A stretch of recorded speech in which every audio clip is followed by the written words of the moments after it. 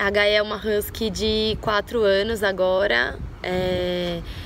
O Rafa tá com ela desde que ela chegou em casa, que ela era bem pequenininha, acho que ela tinha uns 3, 4 meses.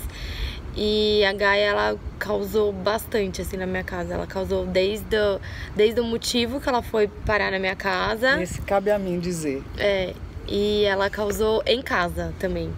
Então a gente tá aqui para dar um depoimento e falar como o Rafa e a Dog Lion salvaram a nossa vida. Foi um grande desafio para o Rafa, porque a Gaia chegou, eu não esperava, fui contra e ela simplesmente destruiu lá em casa. E eu estava a ponto de despachar a Gaia. Eu falei, não quero mais a Gaia aqui em casa. Por mais linda e princesa que ela seja, eu não queria mais. E o Rafa, sabe, não, eu vou colocar ela no eixo, vou, vai dar tudo certo. E hoje é essa coisa amada, querida, e tá linda, maravilhosa.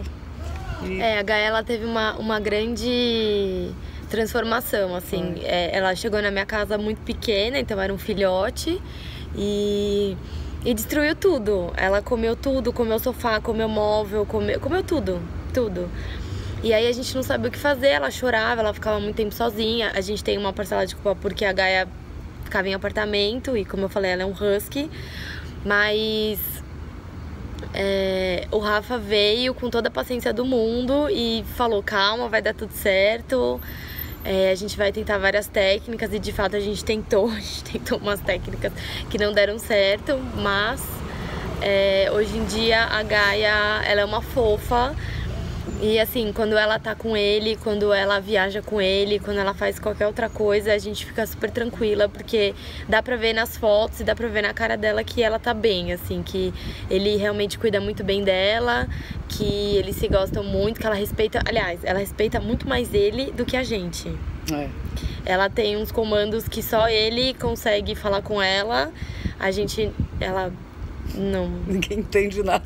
A gente não consegue fazer. Mas muita coisa a gente consegue também. Então a gente conseguiu é, disciplinar muito bem ela. E eu tenho certeza que quase 100% da transformação da Gaia se deu por conta do, da paciência dele e do dom que ele tem. E do empenho que ele. a dedicação que ele teve. Foi uma coisa é. muito linda. A gente queria estar com ela agora para mostrar, é. mas infelizmente não. Não conseguimos. Mas ela realmente é a paixão dele. Ele, quando de vez em quando coloca que, quando perguntam se é, é, se é dele, se a Gaia é dele, e ele responde que às vezes sim, às vezes não, ele pode realmente se considerar, porque ela foi moldada por ele. Uhum. Com todo carinho, com todo amor. Hoje a Gaia é a Lady que é por conta do Rafa. É isso. Obrigada, viu, Rafa? Obrigada por tudo e você é top.